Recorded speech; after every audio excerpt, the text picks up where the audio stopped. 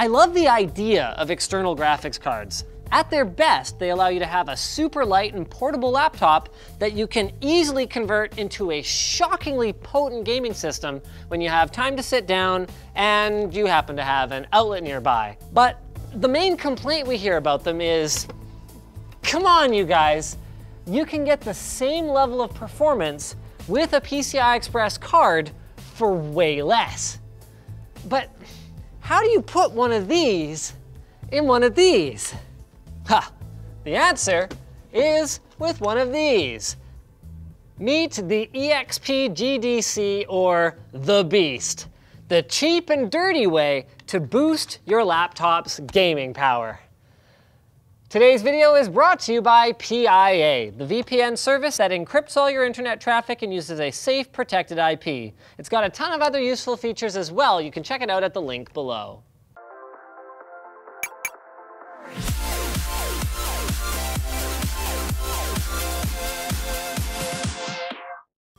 So there have actually been quite a few iterations of the Beast, but the previous ones never really appealed to us, mostly because they connected to the system, either to external ports like ExpressCard, a dying, if not completely dead standard, or to internal ports that couldn't be spared. Most laptops only have a single mini PCIe slot that is usually taken up by the Wi-Fi card, a fairly essential component of the mobile experience. But thanks to NVMe, version 9.5 here has some big advantages. So first, it gets four times the number of PCI Express lanes. Four of them here running at Gen 3 speeds. And second, some mobile devices actually have more than one M.2 slot, like this one. So you should be able to have both a high-speed boot drive and an external GPU connected at the same time. Furthermore, because there's no protocol overhead, it should actually perform better than Thunderbolt 3 enclosures like this one at a significantly lower cost, in theory. So to put that to the test, we are hooking our beast up to the debottlenecker 5000 here, a powerful desktop with all three of the connectivity methods that we want to evaluate. We also grabbed a GTX 1080. So this thing is obviously much more powerful than any laptop on the market, but we need this combination of a fast CPU and a high performance GPU to help us identify which interfaces, if any, are causing a bottleneck that will adversely affect the performance of our overall system.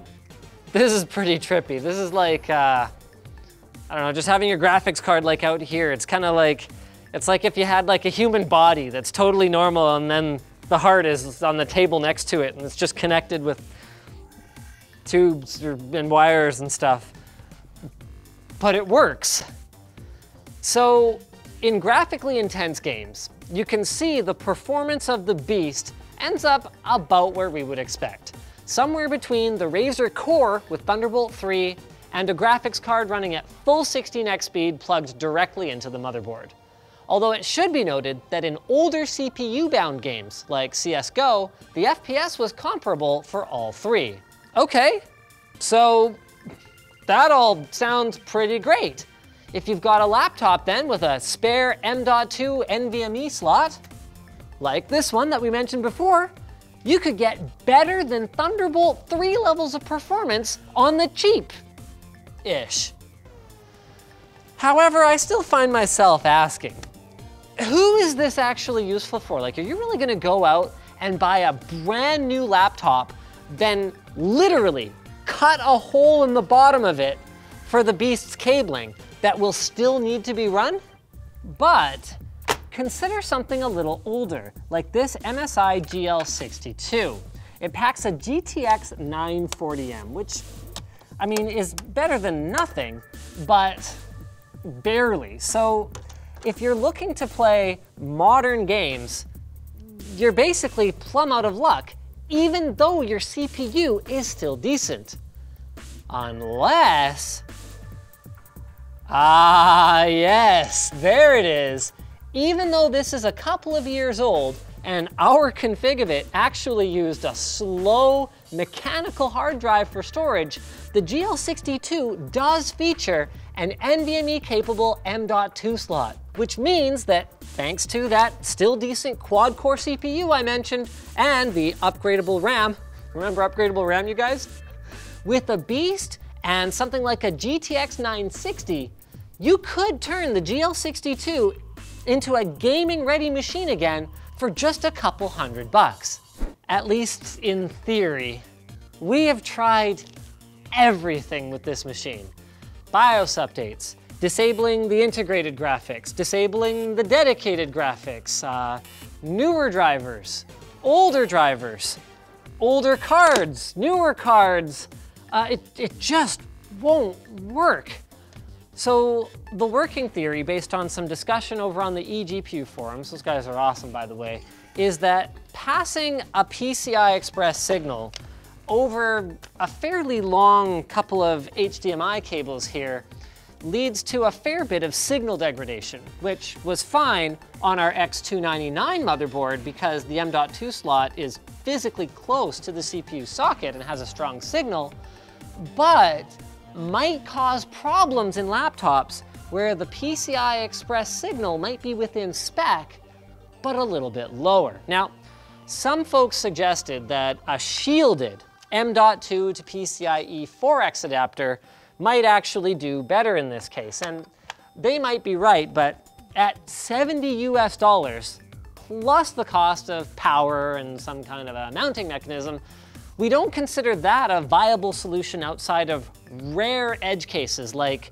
recycling an old laptop as a no longer portable ghetto gaming desktop either. With that said, let's say that you were trying to do that. What kind of compatibility could you expect? As it turns out, not that great. Even the Dell Inspiron Gaming, a machine that this approach could make sense for, requires a custom BIOS and the rest of our efforts basically went a little something like this.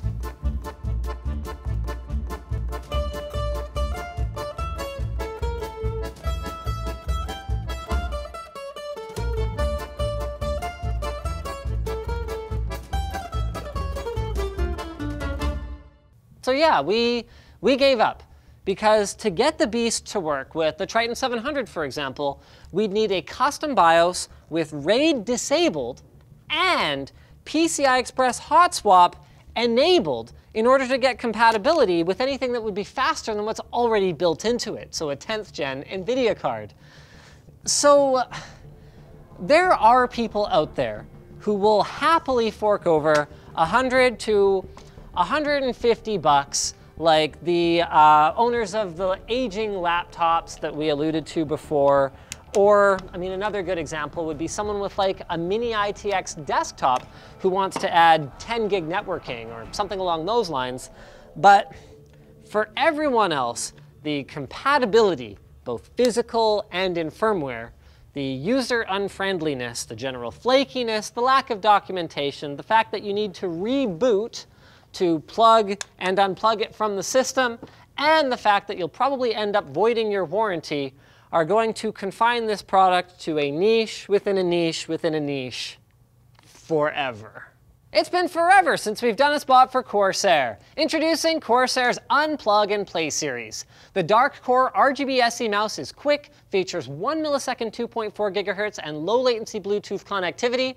If you opt for the wireless charging model, you can charge with Corsair's MM1000 or any compatible Qi wireless charging pad, and their K63 wireless gaming keyboard features the same low latency connection options as well as Cherry MX red switches and a blue LED backlight. Check out their entire lineup through the links below. So thanks for watching guys. If this video sucked, you know what to do, but if it was awesome, get subscribed, hit that like button, or check out the link to where to buy the stuff we featured in the video description. Also linked down there is our merch store, which has cool shirts like this one, and our community forum, which you should totally join.